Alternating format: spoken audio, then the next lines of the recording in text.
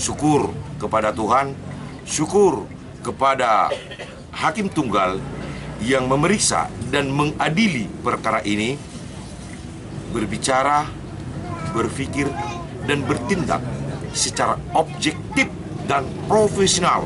Betul-betul seorang hakim di mana yang terungkap fakta-fakta hukum bukti-bukti hukum di persidangan itulah yang diputuskan demikian yang bisa saya sampaikan. Dengan hasil keputusan tersebut, apakah penyelidikannya akan dilanjutkan kembali? sesuai amar putusan daripada majelis hakim jelas di sana.